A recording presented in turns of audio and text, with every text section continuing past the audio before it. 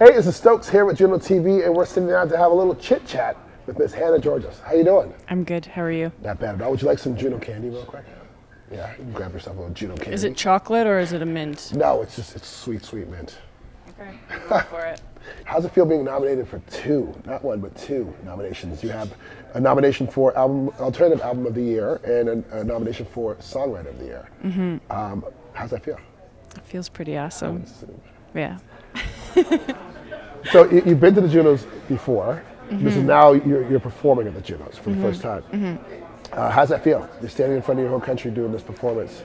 It feels pretty incredible, and I'm a little like nervous, but very excited, and it's an honor. During your rehearsal, your band seems to face each other. Is this common, or is it for the show, or We actually did a, a CBC recording back in the summertime, and I wanted this setup. I just wanted us to all be facing each other and try. I don't know. you feed off each other? That Yeah, that's exactly it. I thought it was a great way for us to just really feel the moment and be into it, into it. Know, you know, when you see your player, it's like you can really. I feel like you can kind of vibe off each other, Next, yeah. And that's what I wanted to do with this performance. It's a bit surreal, and also at the same time, there's lots of my friends that are here, like Yukon Blonde, uh, Said the Whale, Kathleen Edwards.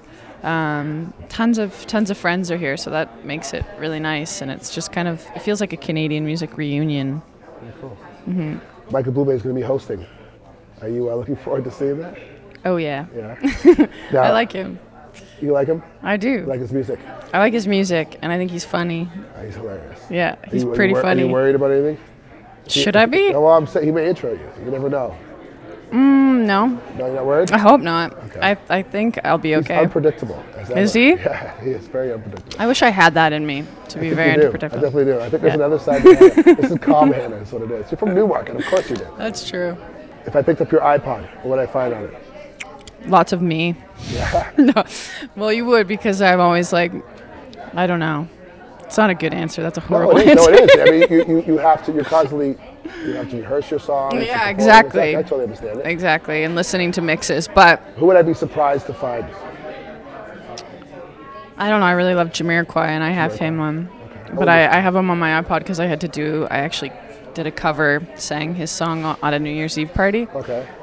And I love Snoop Dogg. He's on my iPod. I would have been surprised about Snoop Dogg. There you go. Yeah, um, Snoop Dogg or Snoop Lion?